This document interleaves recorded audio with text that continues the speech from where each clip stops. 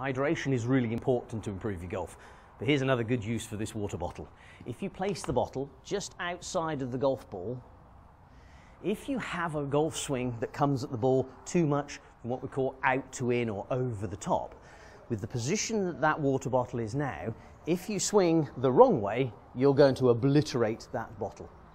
This will force you to swing the golf club more from the inside path, which is what you're after. So from there, problem solved.